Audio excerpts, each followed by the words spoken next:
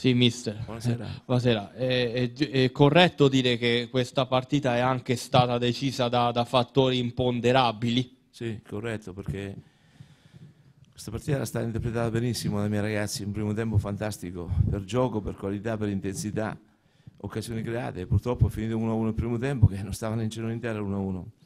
Però il calcio a volte ha fatto di questi episodi, ne prendiamo atto e così mastichiamo amaro, ma da domani pensiamo alla prossima partita.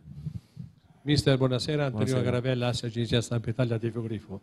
Un buon Perugia sicuramente il primo tempo e dopo chiaramente gli episodi hanno un po' Ha condizionato... girato male stasera, la partita ha girato male, ha condizionato tutto, tutto storto, compreso l'arbitraggio, perché il primo- la punizione Eh, è vero che stava nel nostro portiere. La stavo chiedendo, Non effettivamente. stavano in cielo né in terra la punizione, poi dopo tutto il comportamento che è venuto dopo, però non voglio accampare scuse, eh, perché l'arbitro per me è stato pessimo, però noi abbiamo sbagliato noi la partita, quindi prendiamo atto, abbiamo perso e guardiamo la prossima gara.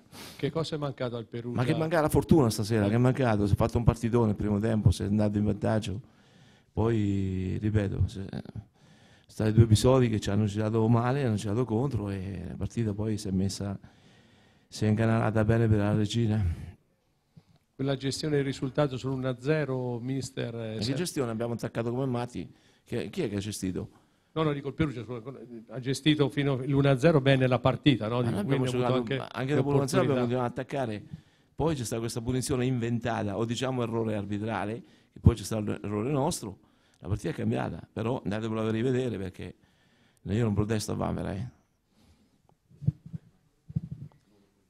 Sì, Domenico Altomonte, video touring in Reggio Calabria. Buonasera. Eh, la gestione del eh, cambio del portiere, magari fa più effetto vedere cambiare il portiere anziché un giocatore normale. non era sereno, non era non era sereno, non era tranquillo, aveva sbagliato, c'era ancora tanto tempo da giocare e mm, secondo me si poteva esporre addirittura anche a situazioni peggiori, no?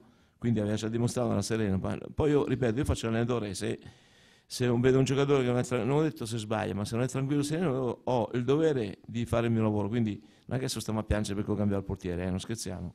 No, no, la domanda era perché eh, non, è- non è- non capita tutti i giorni. portiere è uno degli cambiare- 11 giocatori che giocano. Se, se Assolutamente. l'allenatore vede che non sta andando bene, lo cambia, ma mica deve essere un processo all'allenatore. Io non faccio il processo al portiere, adesso facciamo il processo all'allenatore che ha cambiato il portiere che ha fatto errori. Non era questa la mia intenzione. Comunque un giudizio sulla regina?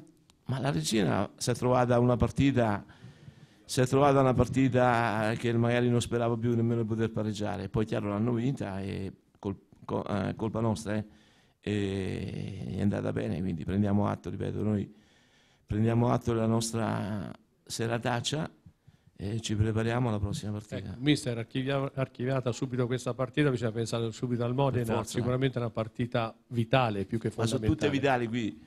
Eh, l'importante però è che noi facciamo le partite che dobbiamo fare come sarà fatta stasera. eh. Poi purtroppo stasera ci si è messo questo, questi incidenti di percorso, ripeto, non si meritava di perdere assolutamente, però abbiamo fatto noi questi recenti, insomma, analizziamo quello che è successo pazienza, guardiamo avanti. Grazie. Prego.